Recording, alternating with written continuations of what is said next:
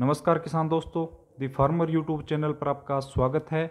और आज अपने बात करेंगे मक्का की फ़सल के अंदर कौन सा खरपतवार नाशी अपने यूज़ करें, जिससे अपने संकरी व चौड़ी पत्ती के खरपतवारों को रोक सकें। तो संकरी पत्ती के अंदर अगर अपने देखें तो धूप घास, मोथ, जंगली धान, मकड़ा घास, गुल्ली डंडा और चौड़ी पत्ती के अंदर गाजर घास है, दूधी है, जंगली चुलाई है, बिस्कपरा है, करसन नील है, बथुआ है आदि खरपतवार अपने को देखने को मिलते हैं।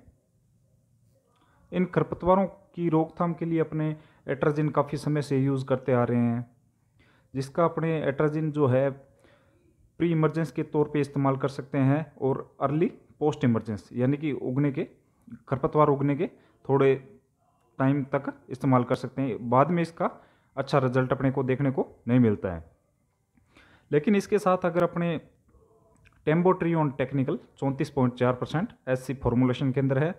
उसका अगर इस्तेमाल करते हैं तो अपने को हंड्रेड परसेंट रिज़ल्ट देखने को मिलते हैं। ये टेम्बोट्री ऑन टेक्निकल जो है, इफ़को एम सी का यूटोरी नाम से प्रोडक्ट आता है, बायर का लाउडिस नाम से प्रोडक्ट आता है, इनका इस्तेमाल अपने कर सकते हैं।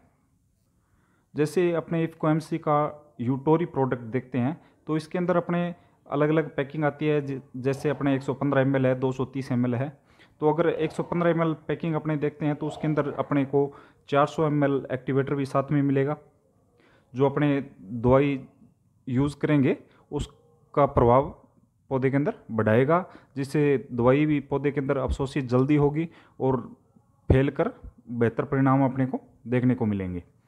तो एट्राजिन और टेम्बोट्रिन दोनों को मिलाकर अपने कर सकते हैं।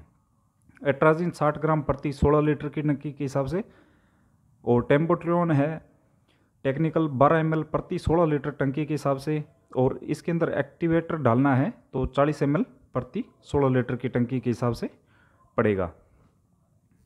कोई भी अगर अपने खरपतवार नाशी इस्तेमाल करते हैं तो उसके लिए ज़रूरी यह होता है कि खेत में उपयुक्त नमी होनी चाहिए, ताकि पौधा दवाई को अवशोषित कर सके।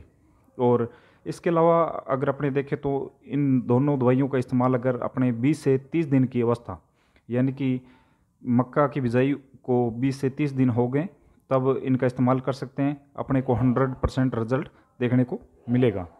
धन्यवाद किसान साथियों, अपने चैनल से जुड़े रहिए और अधिकतम लाइक, शेयर कीजिए ताकि अधिक से अधिक किसानों को जानकारी मिल सके। धन्यवाद।